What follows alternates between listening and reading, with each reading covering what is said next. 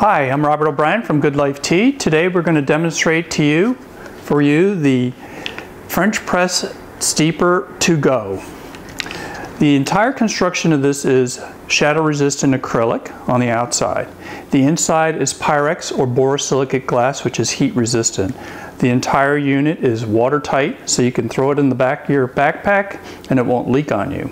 So let's get started. First off you lift up the plunger and unscrew the lid.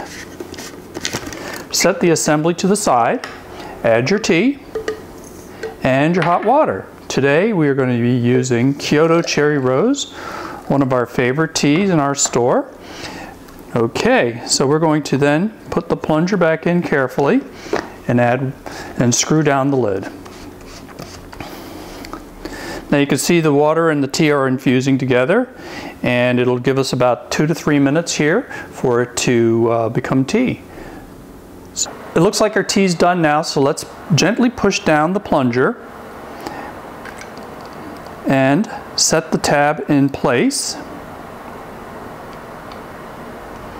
Lift the lid and enjoy. Happy sipping. Thanks for watching. This is Robert O'Brien from Good Life Tea.